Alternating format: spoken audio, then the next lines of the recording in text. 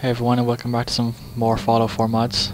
In this one we're going to be showing off a new house that you can get, a brand new restructuring of Castle and also a brand new restructuring of Spectacle Island. So to start off we're going to take a look at this, which is the new house, which is now an oil rig out in the middle of the ocean. So if we go have a look.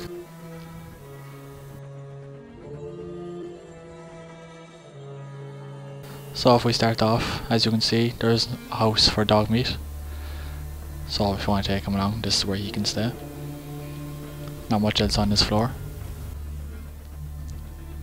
If we go up again, there's a landing pad, which I assume is only for if you want to call in a vertibird. Besides that, I don't really see what other use it could be. Unless you have some other mod that may have vehicles that you can fly from, but besides that, vertibird kind of seems to be all the use it is. If we go to the next floor, we now have an actual room where we have a pet scorpion inside who slightly moves. Not much else I've seen him do besides that. Have a desk, which for some reason is stealing, even though it's your own stuff. Some posters, radio, fancy bed. Over here we have a safe with some ammo, some guns, that kind of thing. Some drink and a chair. Up to the next floor. Which does take a little bit. As you can see, nothing really on the roof either.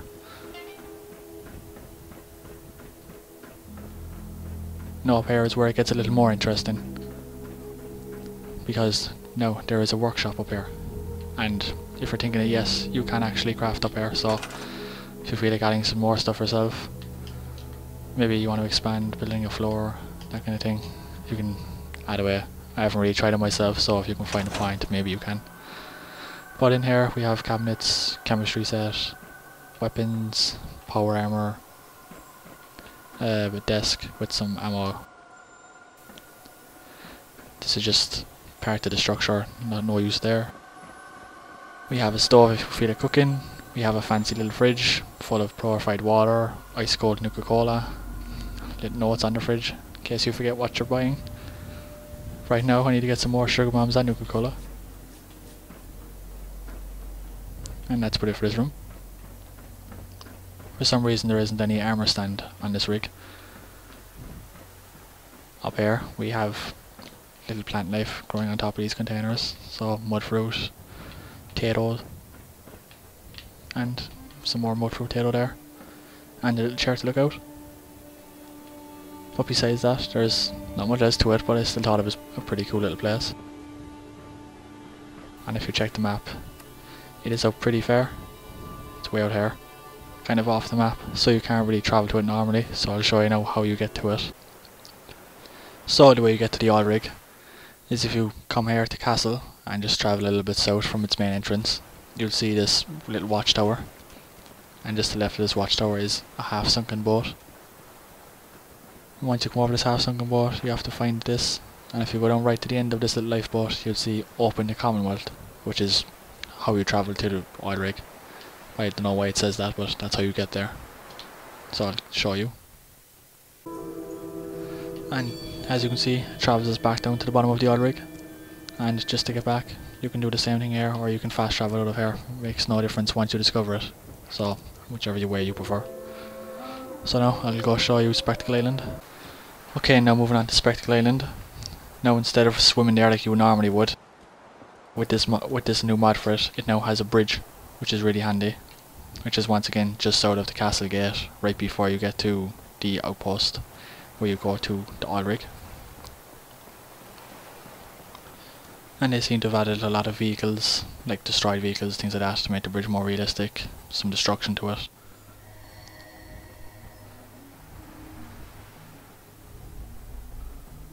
There's also a shack in the middle, which exploring earlier I found raiders, so just be careful for that too. And about halfway up the bridge, as you can see, there's mounted miniguns with a thousand bullets. Some more raiders that I had to kill. And there's also another mounted gun here, so if you feel like taking them, go ahead. So coming up to the stairs to the bridge, as you can see there's still a little bit of broken textures. But nothing I found that's game breaking so far, or anything that should fall through. But they have now retextured so there's actually paved roads. There's grass. They haven't done much to the building here, or the two buildings here. But long hair, still some more bugs, bugs to work out when it comes to the rocks and things like that. But a nice paved road here in the middle so far.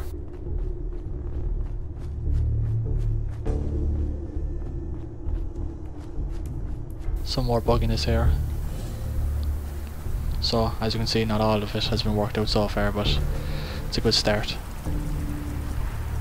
Not much more difference over here, it's mostly near the start. Of that's more relatively the same.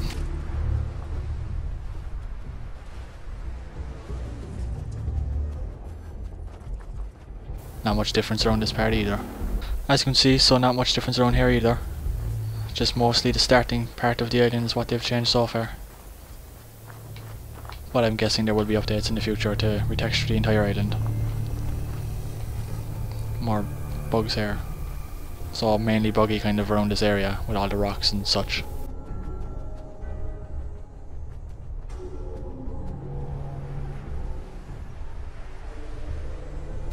Houses aren't too bad.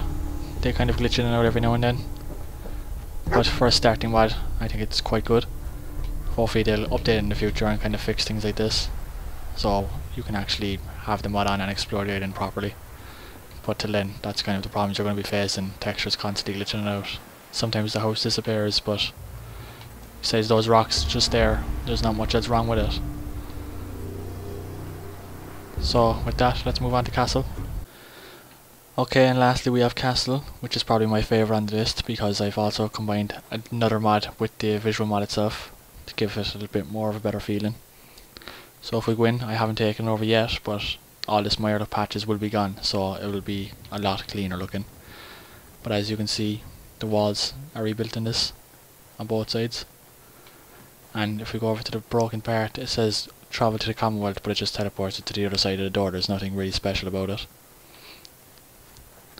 and if you come into the middle there this sign was hanging here. You'd see it if you come in but it fell down for me. And it's just mod creator thanking you for downloading the mod and he also leaves his YouTube channel if you want to visit that and see more mods that he makes himself. So that's handy.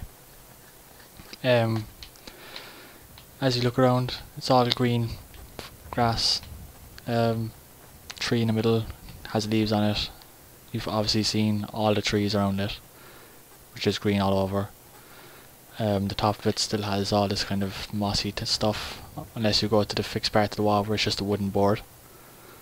Down there you can see the island stretches out a lot more, as that's supposed to be in the water, but no it isn't, it's far from it. Outside it's all green textures, or green grass. stretches out a good bit, it's a little bit kind of glitchy over there kind of water on the land. And there is also now a bridge leading from the castle itself to the mainland. So not too much difference around there besides the fact that it's all green grass around now. So not too much difference besides the fact that it's all green grass around there now. Uh, the inside doesn't have any changes to it, it's still the same textures that it always was. But I've also added a second mod which I will now show you. So, if you come into the general's quarters, and you do the usual thing, you clear out this rubble here.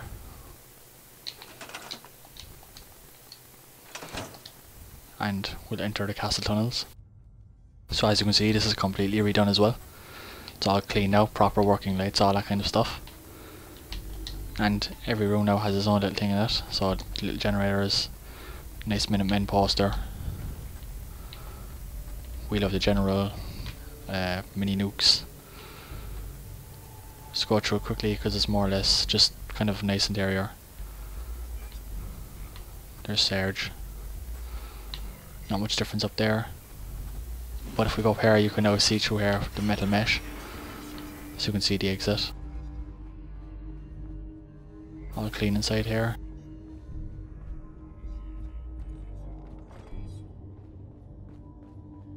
As you can see. Everywhere is just kind of more or less cleaned up. So armor stands, weapon stands. But if you go back to the start here, which Dogmeat just opened, is the door on the right here, which is now a fully stocked armory that they now have, which is set up really nicely. Although you can't grab any of this stuff here, it's kind of just more decorative. But you can take the ammo out of this duffel bag. Um, you can take the cannonballs, all this stuff is empty beside, well, the clothing and armor is empty, but there, there's ammo here, as you can see it's labelled on the boxes, which is which. Explosives is empty, cannot collect these, grenades, mines, cement, cages, boxes, and this wall here is also decorative, you can't take anything from it. But still, pretty cool. It's better than what is in here, which is just nothing. I think radiation barrels, that's about it. So, and I should also mention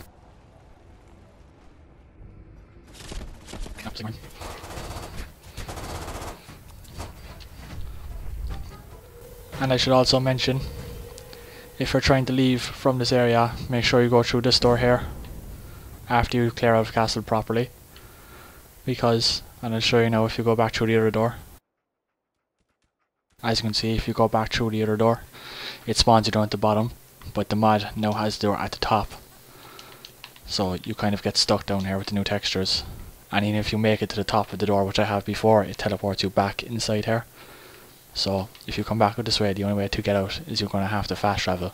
So I would recommend using the other door, which wasn't open for me because I haven't completed the mission, but that's your best way out if you want to come down here. So that about does it for these round of mods. If you liked any of them, make sure to leave a like. If you'd like to see more mods or just more videos in general, you can always subscribe. So thank you for watching and goodbye.